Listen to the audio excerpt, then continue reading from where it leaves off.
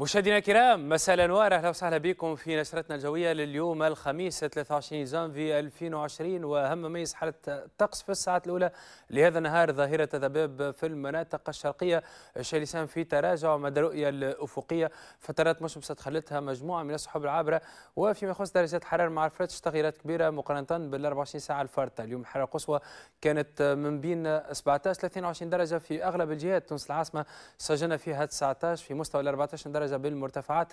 على الأرقام كانت في البرمة في برج الخضراء 24 درجة. وميزات طقس اليوم بعد تقشع ضباب نشوفهم كالعادة من خلال تسلسل لصور القمر الاصطناعي. واللي يميز حالة السماء هو ظهور مجموعة من السحب من النوع المرتفع في أغلب الجهات. تقريبا رياح كانت نشطة نسبيا في المناطق الساحلية وين وصلت سرعتها إلى مستوى 60 كم في الساعة. الليلة ما زالت أجواء مغيمة جزئيا في أغلب مناطق البلاد. درجة الحرارة تكون من بين 10 ل 15 درجة في حدود 7 بالمرتفعات الغربية للبلاد مع توصل نشاط الرياح الجنوبية الشرقية بالمناطق الساحلية وين تتراوح سرعتها من بين 40 إلى 60 كم في الساعة وإمكانية ظهور ضباب محلي آخر الليل. بالنسبة ليوم الغد إن شاء الله مع توصل تدفق التيارات الجنوبية ممكن نسجلوا ارتفاع طفيف في درجات الحرارة إمكانية ظهور ضباب محلي في الساعات الأولى للنهار.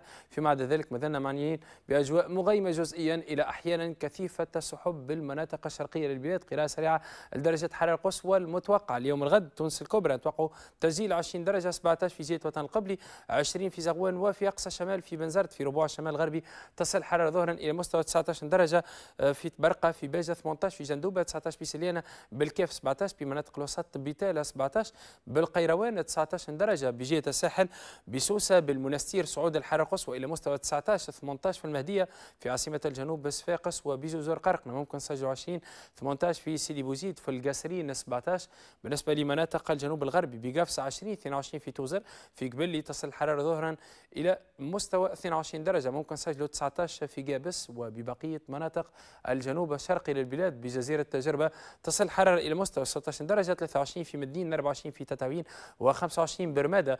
بالنسبة للملاحة والصيد البحري بسواحلنا الشمالية رياح في أغلبها جنوبية شرقية سرعتها من 25 إلى 30 عقدة والبحر يكون شديد الاضطراب إلى متموج بمنطقة سيرات بخليج حمامات وبجهة الساحل. رياح أيضا جنوبية شرقية سرعتها من 25 إلى 30 عقدة البحر يكون شديد الاضطراب بمنطقة الشابة رياح تكون جنوبية شرقية سرعتها من 25 إلى 30 عقدة وتتقلص تتراجع سرعتها إلى مستوى 15 25 عقدة في فترة ما بعد الظهر بحر شديد الاضطراب. وبخليج جابس فعالية الرياح تكون أقل نسبيا من بين 15 إلى 20 تصل محليا إلى مستوى 25 عقدة والبحر يكون شديد الاضطراب. فمضطرب كالعادة ندوكم فكرة حول حالة الطقس ببعض المدن والعواصم الأجنبية. بنواكشوط نتوقع ظهور بعض السحب بالدار البيضاء 18 درجة سماء صافية بالجزائر 18 22 في طرابلس طقس مشمس في الخرطوم 26 بالقاهرة. آه، بعض السحب العابرة 18 درجة بالبقاع المقدسة 22 في المدينة المنورة 26 في مكة المكرمة. سماء صافية بالدوحة سحب عامة قليلة بمسقط بأبو ظبي 21 بالنسبة للكويت 18 16 في بغداد. طقس بارد نسبيا بالقدس الشريف وبدمشق. 7 درجات 12 في بيروت. 8 بإسطنبول مع ظهور بعض السحب وبأوروبا. بروما 16 درجة. أجواء شديدة البرودة بفيينا درجتان. 4 ببروكسل 7 بباريس. أمطار في مرسيليا 12 درجة. طقس ممطر أيضا في مدريد وبلشبونة 14 درجة. تطور الوضع الجوي خلال نهاية هذا الأسبوع. بالنسبة ليوم السبت تقلص كبير في حدة وفعالية رياح. رياح في أغلبها من القطاع الجنوبي سرعتها لا تتعدى 30 كم في الساعة.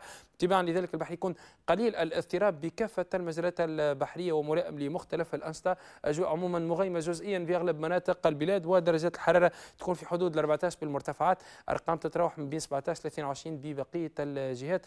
بالنسبة ليوم الأحد نتوقع ظهور مجموعة من السحب العابرة على كامل البلاد واللي تكون أحيانا كثيفة بالشمال قد ترافقها بعض الأمطار المتفرقة تتنقل التيارات الهوائية لتكون من القطاع الغربي. نشطة نسبيا قرب السواحل وضعيفة إلى معتدلة داخل البلاد. البحر يكون مضطرب إلى متموج مع تسجيل استقرار في درجات الحرارة. مواعيد الشروق والغروب اليوم الغد. شروق الشمس بإذن الله يكون في الساعة السابعة و27 دقيقة وغروبها في الساعة الخامسة و36 دقيقة لمزيد من المعلومات والإرشادات. نذكركم بقنوات الاتصال الخاصة بالمعهد الوطني للرصد الجوي للرسائلات القصيرة موقع الويب ورقم الموزع الصوتي 88 40 4 صفار أوقات صلاة اليوم الغد صلاة الصبح بداية من السادسة إلا ثلاث دقائق. صلاة الجمعة منتصف النهار و38 دقيقة. صلاة العصر في الساعة الثالثة وربع. صلاة المغرب في الساعة الخامسة و38 دقيقة. وصلاة العشاء بإذن الله في الساعة السابعة وست دقائق. شكرا على حسن المتابعة والاهتمام. إلى اللقاء.